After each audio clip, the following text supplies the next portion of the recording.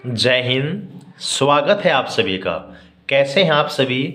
उम्मीद है कि सभी बहुत ही ज़्यादा स्वस्थ होंगे और यहाँ पर जो आपकी एएससी की नई वैकेंसी आ चुकी है टोटल 236 पदों पर, उसकी तैयारी में ज़बरदस्त तरीके से आप लग गए होंगे।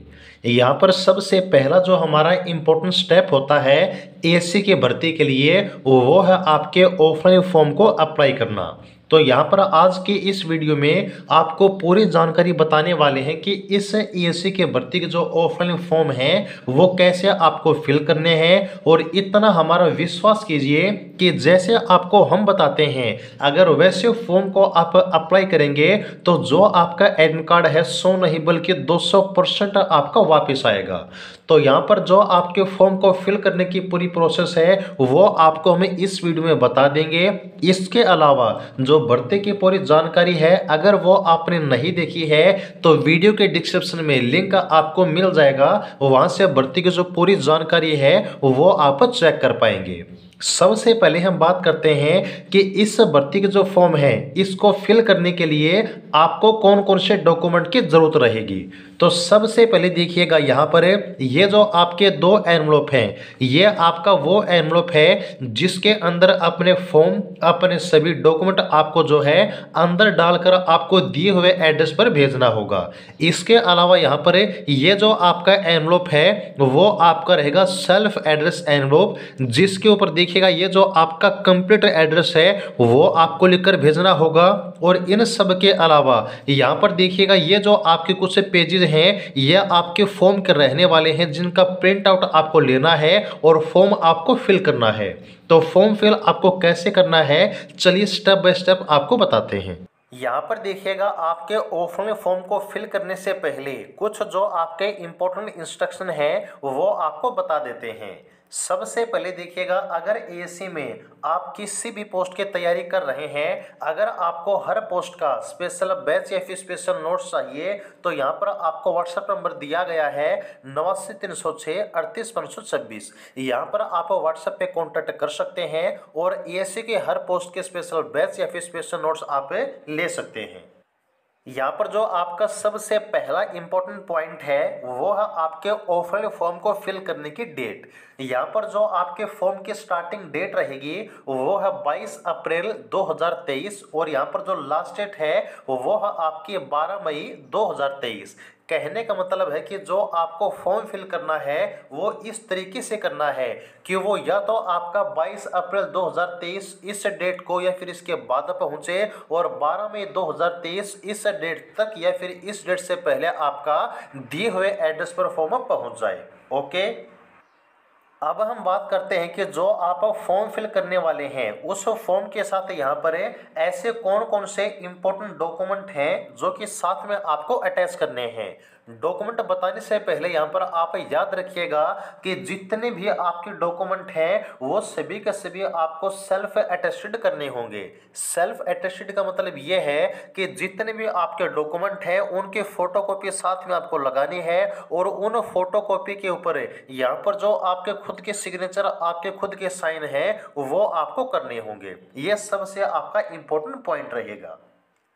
यदि हम बात करें डॉक्यूमेंट के बारे में तो सबसे पहले यहाँ पर आपको चेक करना है कि जो आप पोस्ट का फॉर्म अप्लाई कर रहे हैं, उसकी एसेंशियल क्वालिफिकेशन क्या है। सभी पोस्ट की जो एसेंशियल क्वालिफिकेशन स्टार्ट होती है, वो है आपकी टेंथ क्लास से।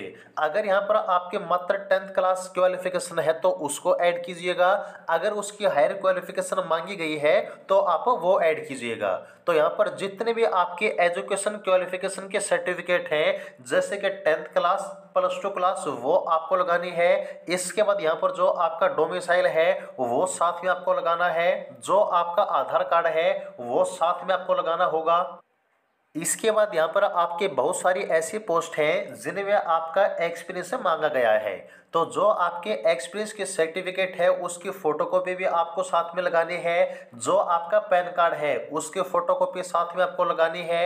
यदि आप रिज़र्व कैटेगरी से बिलोंग करते हैं, जैसे कि S C S T O B C physical handicap ex serviceman E या फिर स्पोर्ट्स पर्सन या फिर अन्य कोई भी अगर आपकी रिज़र्व कैटेगरी है तो यहाँ पर जो आपका कास्ट सर्टिफिकेट है, वो साथ में आपको लगाना होगा। इन सब के अलावा यहाँ पर वीडियो के स्टार्टिंग में आपको मैंने बताया था कि एक खुद के एड्रेस का जो लिफाफा है, वो भी साथ में आपको लगाना होगा, जो कि आपको रजिस्टर्ड करना है। अब रजिस्टर्ड कैसे करना है, वो भी बताने वाले हैं। इन सब के अलावा यहाँ पर देखिए, आपकी खुद की दो जो फ़ोटो है सेल्फ अटेस्टेड करके फॉर्म के साथ आपको अलग से भेजनी है और फ़ोटो के पीछे आपका नाम, आपका फादर नेम ये आपको ज़रूर मेंशन करना है। तो ये सभी वो आपके इम्पोर्टेंट डॉक्यूमेंट हैं जो कि फॉर्म के साथ आपको लगाने हैं और भेजने हैं। इसके बाद देखिएगा यहाँ पर जो और आपका एक इम्पोर्टेंट पॉइंट है कि यहाँ पर आपकी बहुत सारी ऐसी पोस्ट हैं जो कि आपकी 180 और आपकी 280 में आउट की गई हैं। तो यहाँ पर आपको याद रखना है, अगर आप cook C C I N की civilian catering instructor L D C tinsmith, barber, tradesman, mate, यानी कि लेबर, अगर इनका फॉर्म आप अप्लाई करने वाले हैं तो फॉर्म आपको टू एटी सी के एड्रेस पर भेजना है। यदि आप एम टी एस चौकीदार C M D civil motor driver, या फिर fire engine driver, fireman, cleaner, vehicle mechanic, painter और कारपेंटर, अगर इन पोस्ट का फॉर्म आप अप्लाई करने वाले हैं तो यहाँ पर आपको 180 के जो एड्रेस है, इसके ऊपर फॉर्म आपको भेजना होगा। तो ये जो इम्पोर्टेंट पॉइंट है, बिल्कुल आप याद रखिएगा। और यहाँ पर देखिएगा, आपको सबसे ज़्यादा एक बात और याद रखनी है कि सिर्फ़ आप एक ही ट्रेड का फॉर्म अप्लाई कीजिएगा। ऐसा भी नहीं करना है कि 180 से में एक फॉर्म 280 से में एक फॉर्म चाहे आप किसी भी स्टेशन में फॉर्म अप्लाई करें, मात्र एक ही ट्रेड का जो फॉर्म है, वो आपको अप्लाई करना है। अगर एक से ज़्यादा अप्लीकेशन फॉर्म आप अप्लाई करते हैं तो वो आपका रिजेक्ट कर दिया जाएगा। ये बात आपको याद रखनी है। अब यहाँ पर देखिएगा, यह है आपके एप्लीकेशन फॉर्म का पहला पेज सबसे पहले यहाँ पर आपको क्या करना है कि इस कॉलम में आपको खुद की फ़ोटो चिपकानी है और उस फ़ोटो के ऊपर खुद के साइन आपको करने होंगे। इसके बाद यहाँ पर आपकी पोस्ट का नाम आपको लिखना है, आपका नेम जो कि सिर्फ़ आपके टेंथ क्लास के अकॉर्डिंग ही होना चाहिए। फिर आपका मोबाइल नंबर याद रखिएगा, जो आपका मोबाइल नंबर है, जो ईमेल आईडी है, वो आपको वहीं फिल करनी है, जो फ़िलहाल में आपकी चालू है। क्योंकि यहाँ पर जो आपका कॉल लेटर होगा, उसकी जानकारी आपको मोबाइल नंबर पर मिलेगी और जो कॉल लेटर है, उसकी सॉफ्ट कॉपी आपके ईमेल पर भेजी जाएगी। इसके बाद आपका आधार नंबर आपको बताना है, आपका फादर नेम बताना है, आपके डेट ऑफ़ बर्थ बतानी है, फिर यहाँ पर पूरा एड्रेस आपको लिखना है। यहाँ पर सबसे पहले आपको लिखना है कम्युनिकेशन एड्रेस ये जो आपका कम्युनिकेशन एड्रेस है, वो आपको वहीं फिल करना है, जहाँ पर फ़िलहाल में आपसे भर्ती के दौरान कम्युनिकेशन किया जा सके। इसके बाद यहाँ पर यह आपका जो है परमानेंट एड्रेस है, जहाँ का आपका डोमिसाइल है, वो एड्रेस आपको फिल करना है। इसके बाद जो आपकी पोस्ट की एसेंशियल क्वालिफिकेशन है, वो आपको फिल करनी होगी। देन यहाँ पर देखिए, आपकी जो क्वालिफिकेशन के डिटेल्स हैं, वो आपको फिल करनी है। सबसे पहले आपके सर्टिफिकेट के ऊपर सीरियल नंबर लिखा होता है, वो आपको यहाँ पर लिखना होगा। यहाँ पर एक, दो ऐसे नहीं लिखना है, वो आपका एस आर नंबर होता है। एस ए आर नंबर आपका जो सर्टिफिकेट के ऊपर लिखा होता है, वो आपका यहाँ पर लिखना होगा। आपके क्वालिफिकेशन टेंथ क्लास आपके स्कूल का नाम बोर्ड का नाम, आपकी परसेंटेज और रिमार्क्स में आपको लिखना है पास इसके बाद यहाँ पर आपका जेंडर मेल फीमेल वो आपको बताना है. देन यहाँ पर आपकी कैटेगरी बतानी है. और यदि आप एक्स सर्विसमैन हैं तो आपको यहाँ पर जो अपना डाटा फिल करना होगा. इसके बाद ये है आपका नेक्स्ट पेज यदि आप फ़िज़िकल हैंडीकैप्ड हैं तो आपको जानकारी यहाँ पर फिल करनी होगी।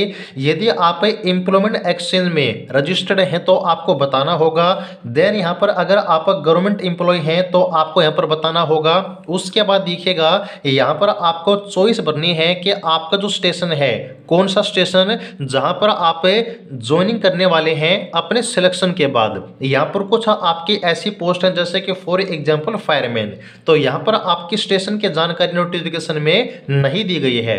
यहाँ पर साइड में आप लोग देख भी सकते हैं, जो आपके स्टेशन है, जो आपकी पोस्ट लिए दिए गए हैं, वो आप नोटिफिकेशन में चेक कर लीजिएगा।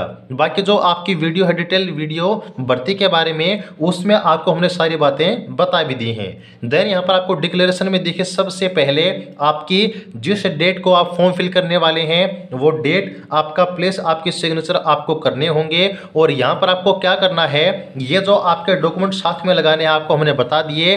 अब यहाँ पर कितने डॉक्यूमेंट आपकी फोटोकॉपी साथ में लगेगी फॉर्म के साथ, उसके नंबर एक, दो, तीन, वो आपको बताने हैं। जैसे कि tenth class domicile Aadhaar card, PAN card, ये सब कुछ आप कितने नंबर लगाने वाले हैं, वो नंबर आपको यहाँ पर जो है लिख देना है। उसके बाद देखिएगा, यहाँ पर ये जो आपका नेक्स्ट पेज है, ये आपको फॉर्म के साथ नहीं भेजना है, बल्कि जो आपका बाहर का लिफाफा है, उसके साथ ये आपको पेज भेजना है। इसको आप कैसे भेजेंगे तो देखिएगा, यहाँ पर ये जो आपकी लाइन दी गई है, इस लाइन से ये पेज आपको कट करना है। कट करने के बाद कैसे आपको भेजना है, देखिएगा।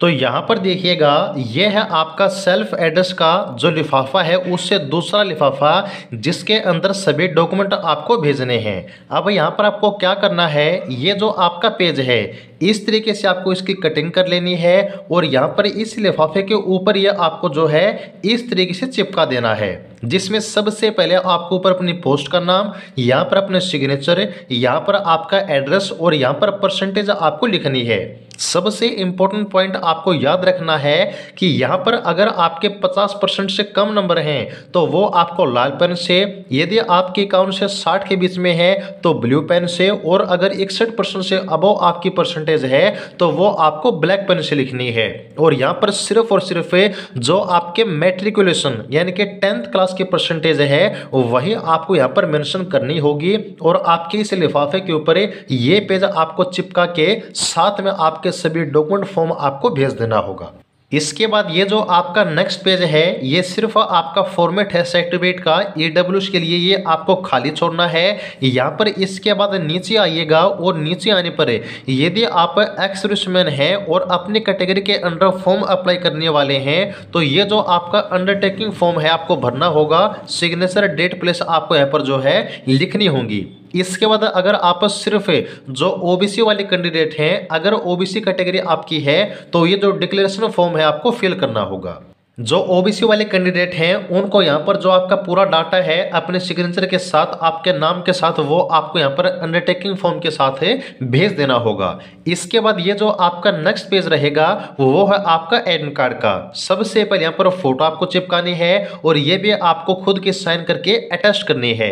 सिर्फ़ यहाँ पर आपको चार ही चीज़ें फिल करनी है। सिर्फ़ आपका नेम आपका फादर नेम आपकी डेट ऑफ़ बर्थ और आपकी कैटेगरी और यहाँ पर जो साइन है खुद के, वो आपको कर देने हैं। यहाँ पर याद रखिएगा, ये जो आपका एडमिट कार्ड है, दोनों ही आपके डुप्लीकेट के रूप में आपको भेजने होंगे। यहाँ पर जो आपका सेकंड एडमिट कार्ड का कॉलम है, इसमें भी आपको सेम चीज़ें फिल करनी है।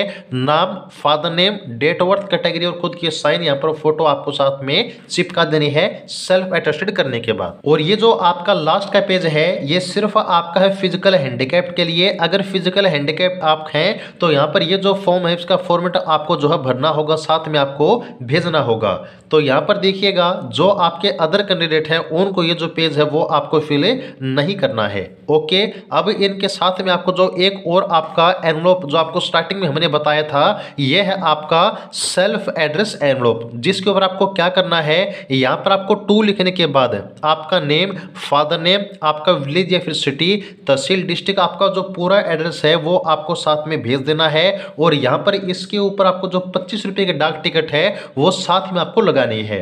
या फिर आप क्या कर सकते हैं डाक खाने में जाइएगा, वहाँ पर आपको ये बोल देना है कि हमें अपने खुद के एड्रेस पर, इस एड्रेस पर ये जो लिफाफा है, वो रजिस्टर्ड करवाना है। तो वो आपका रजिस्टर्ड कर देंगे, या फिर आपके जो टिकट है, इसके ऊपर लग जाएगी तो ये भी आपका जो है, रजिस्टर्ड माना जाएगा। ओके? तो ये पूरी प्रोसेस आपके फॉर्म को फिल करने की। जो यहाँ पर आपके डॉक्यूमेंट हैं, आपके फॉर्म फिलअप की डेट है फॉर्म को कैसे फिल करना है, आपको क्या कुछ साथ में अटैच करना है, पूरी जानकारी आपको हमने बता दी है।